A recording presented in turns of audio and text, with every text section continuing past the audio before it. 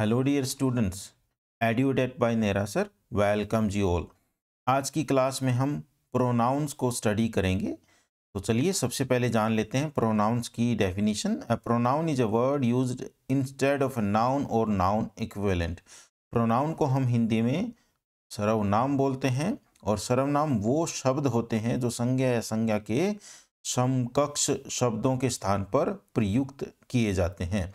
Pro का meaning होता है इंस्टेड ऑफ़ यानी की बजाय और प्लस हो गया नाउन यानी कि नाउन की जगह पर यूज़ होने वाले शब्दों को हम प्रोनाउंस बोलते हैं। आज की क्लास में बहुत ही इंटरेस्टिंग और इनोवेटिव वे से हम प्रोनाउंस को सीखेंगे। सिर्फ़ एक एग्ज़ाम्पल से आपके सामने सारे प्रोनाउंस क्लियर हो जाएँगे। एक्चुअल में हम इंग्लिश में टेन टाइप्स ऑफ़ प्रोनाउंस को स्टडी करते हैं, जो कि आपके सामने हैं। सबसे पहले हम पर्सनल प्रोनाउन को स्टडी करेंगे। हिंदी में मैंने आपके सामने लिखा हुआ है।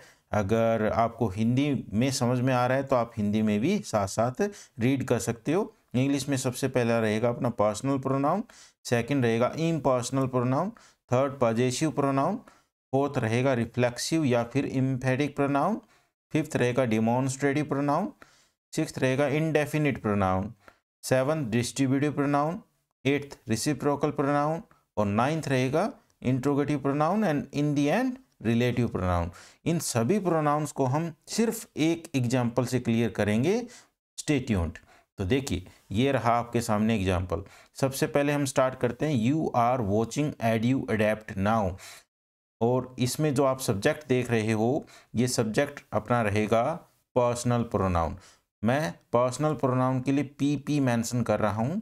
पी से पर्सनल और प्रोनाउन पर्सनल प्रोनाउन की अगर बात करें I we you he she they ये सब पर्सनल प्रोनाउन में काउंट होते हैं।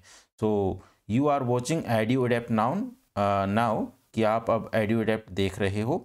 It is a very good channel it Eduadept के लिए यूज़ हुआ है। ये अपना नाउन है। एडियोडेप्ट के लिए हमने क्या यूज़ किया है? इट का यूज़ किया है। इसका मीनिंग हुआ, ये इम्पर्सनल प्रोनाउन हुआ। इम्पर्सनल प्रोनाउन सो देखिए, हमने दो तरह के प्रोनाउन कर लिए हैं। इम्पर्सनल प्रोनाउन में सिर्फ़ इट होता है और इम्पर्सनल प्रोनाउन के अंदर इट का यूज़ हम एनिमल्स लाइफलेस जितने भी थिंग्स रहती हैं, उनके लिए इट का यूज़ करते हैं। पर्सनल प्रोनाउन अपना यू रहेगा इम्पर्सनल अपना इट रहेगा। This unique teaching method is mine mine mine is possessive pronoun this is possessive pronoun and in possessive pronoun if we talk about I से mine रहेगा we से hours रहेगा, और उसके बाद में यू से योर्स रहेगा ही से हिज रहेगा सी से हर्स रहेगा, और दे से दियर्स रहेगा। आई फिर अपना पर्सनल प्रोनाउन होगा ये अपना इम्पर्सनल प्रोनाउन होगा। इन पर्सनल प्रोनाउन और इम्पर्सनल प्रोनाउन को हम एज ए सब्जेक्ट और एज एन ऑब्जेक्ट भी यूज़ कर सकते हैं, याद रखिएगा।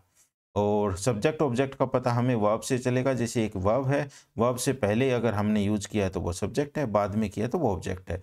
अगर किसी भी, अगर हम देखें माई के बाद में और आवर के बाद में सेल्फ या सेल्व्स लिखा हुआ हमें मिल जाए तो वो अपना रहेगा जैसे अपना रिफ्लेक्सिव प्रोनाउन हम इसको काउंट करेंगे, यानी अपना क्या रहेगा? रिफ्लेक्सिव प्रोनाउन रहेगा। जैसे आई से माई सेल्फ बन गया वी से आवर सेल्फ बन गया, यानी प्लूरल के साथ हम S E L V E S का यूज़ करेंगे। सिंगुलर के साथ हम एस ई एल एफ़ का यूज़ करेंगे। तो ये अपना रिफ्लेक्सिव प्रोनाउन कहलाएगा।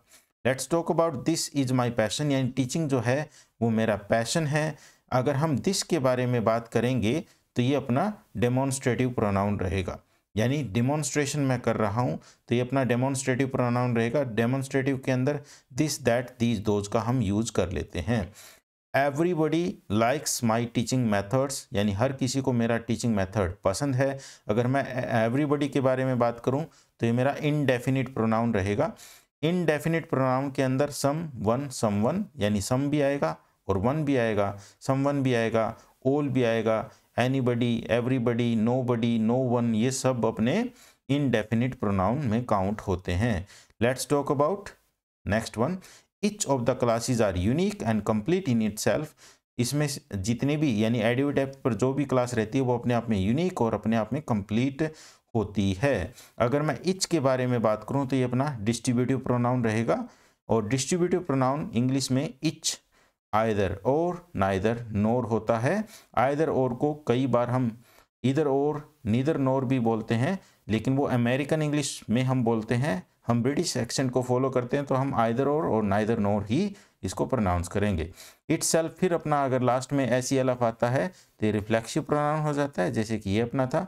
उसके बाद में वी जो है वो पर्सनल प्रोनाउन है, और वन अनदर को अगर हम देखें तो वन अनदर अपना रहेगा रिसिप्रोकल प्रोनाउन रिसिप्रोकल प्रोनाउन के अंदर इच अदर वन अनदर आता है। रिसिप्रोकल का मीनिंग होता है, एक सीक्वेंस होना, ये यानी अगर आपने मुझे पैसे दिए तो मैं आपको वो वापस पैसे दूँगा।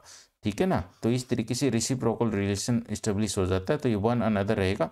और वट एवर वट एवर रहेगा अपना इंट्रोगेटिव प्रोनाउन याद रखिएगा। इंट्रोगेटिव प्रोनाउन के अंदर हु हुम हुज और वट आता है। इसके साथ हम एवर का भी यूज़ कर लेते हैं। Let's talk about the last pronoun this is relative pronoun जो रिलेशन इस्टेब्लिश करता है, संबंध स्थापित करता है। इसके अंदर हु हुज हुम विच और दैट का हम यूज़ करते हैं। एंटीसीडेंट के साथ, यानी जो पूर्व में पद आता है, पूर्व पद बोलते हैं एंटीसीडेंट को, उसको, उससे रिलेशन ये बताता है या एक क्लोज को दूसरे क्लोज से कनेक्ट करने का काम करता है। Who laughs last laughs the best ये अपना एक बहुत ही अच्छी कहावत है, यानी जो बिल्कुल सोच समझ करके कार्य करता है, वो सर्वोत्तम कार्य होता है। चलिए, जो प्रोनाउन हमने किए हैं, वो सब आपके सामने है। जैसे personal pronoun he she you they I we रहेगा। इन पर्सनल के अंदर इट रहेगा। पजेसिव के अंदर ये अधिकार को दिखाते हैं, जिसके अंदर his hers yours theirs mine ours रहेगा। रिफ्लेक्सिव या इम्फेटिक प्रोनाउन के अंदर himself herself yourself them yourself दोनों तरह के रहेंगे योर सेल्फ और yourself themself myself ourself demonstrative के अंदर दिस दैट दिस दो जो कि हम पहले भी कर चुके हैं। सिक्स अपना रहेगा सम one someone all a few few no one none nobody anyone anybody everyone everybody और अदर्स डिस्ट्रीब्यूटिव जो कि वितरण को दर, दर्शाते हैं इसके अंदर इच आइदर और नाइदर नोर रहेंगे। रिसिप्रोकल जो आप पारस्परिक संबंध को दर्शाते हैं इच अदर और वन अनदर दो रहेंगे। इंट्रोगेटिव के अंदर हु हुम विच वट रहेंगे। रिलेटिव प्रोनाउन के अंदर who whom whose which that रहेंगे। So that's it we have done our pronoun chapter thank you very much everyone have a nice day अगर channel को subscribe नहीं किया तो please subscribe कर लें। Stay tuned